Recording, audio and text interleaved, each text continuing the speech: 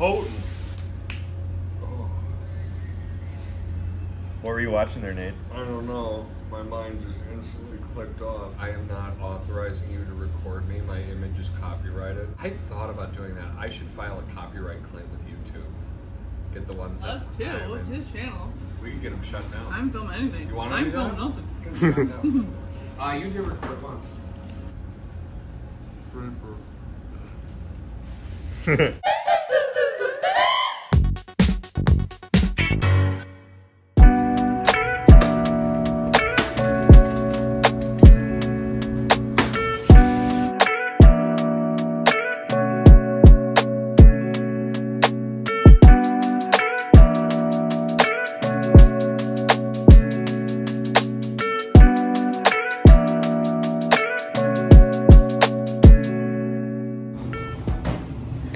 All right, one thing I need to work on in life is doing laundry and stuff more frequently than two weeks. because if I stayed up on top of doing my laundry and I stayed up on cleaning my car and everything, just did a little bit every day rather than hours in one day just cleaning, my life would be a lot easier. So I think if you do things in small increments every day, it's not going to be as horrendous of a task. So today I'm going to talk about being gay and Christian while I fold my underwear. Interesting. All right. This is a topic I've thought about talking about for a while. There's a large amount of LGBT that don't feel accepted in that community. So I'm going to just share my experience. I'm not going to go into Bible verses or get into the politics of anything. I respect all religions. This isn't me trying to tell you what to believe in. This is just me sharing my personal experience and beliefs. And if you want to share like what your beliefs are, what your experiences are, you can comment below. I'd like to read those. So yeah, I'm gonna get into it while I fold my boxers. so weird. So basically growing up, I was grown up into a really strong Catholic faith. My mom is very Catholic. My dad was never super religious. I mean, he would go to church with us sometimes, but he was never involved in any of it. So I went to a Catholic private school in elementary school and in middle school and was not a fun place to be honest. I don't know if my life would have been better growing up if I had gone into uh, public school right away. I definitely would have been exposed more to the world sooner. Maybe that wouldn't have been good, but I've always been a person where I don't really let people influence me that much, so I don't think I would have become a different person because of it. But I don't know. I didn't really like I guess I didn't really like school in general. I mean, I like the public school a little bit more, but I whatever, I'm getting off topic. So basically, I grew up Catholic, would go to church every Sunday with my mom.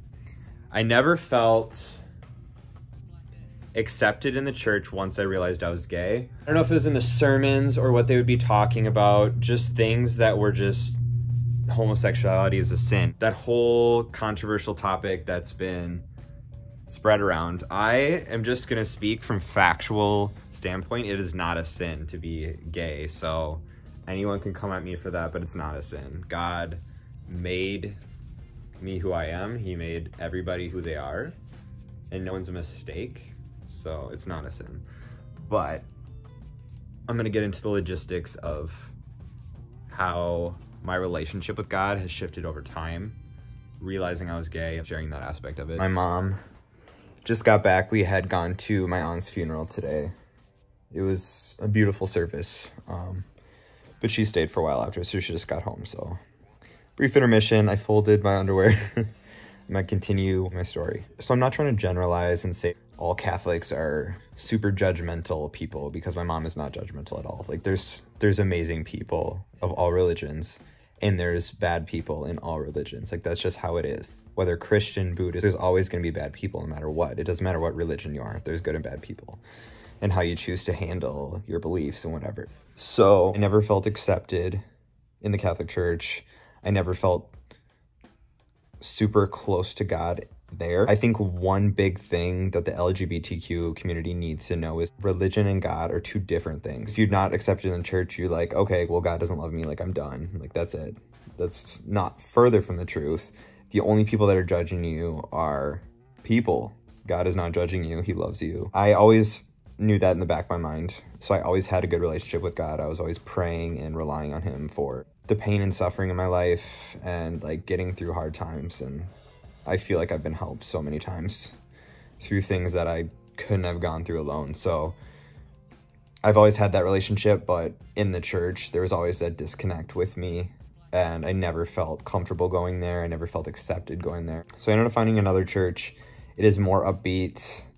They do a lot of um, like live concert stuff, and then they have a message, the messages relate to real life, current things going on.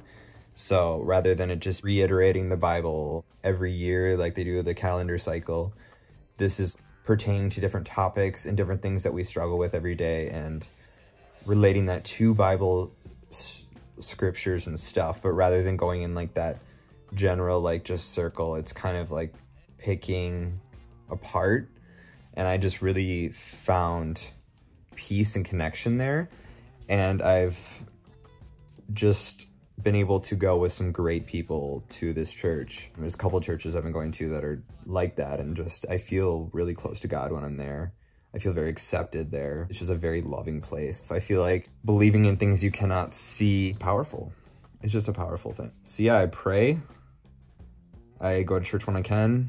Um, my best friend Shaylee, we go to church together. I've always been Christian, but I just think people need to know that if you're not accepted at the church you go to, there is one that you will be accepted at. It's the people that are being judgmental. It's not God. So thank you guys for listening to my little story. I don't know if I explained that well at all. I probably didn't, but I'm just going off of my experience. I'm just speaking my, my truth personally. And hopefully from the series that I've been doing, you guys can learn something. I have gone into a lot of mental health stuff in the series spiritual health is very important for me, so I had to include that.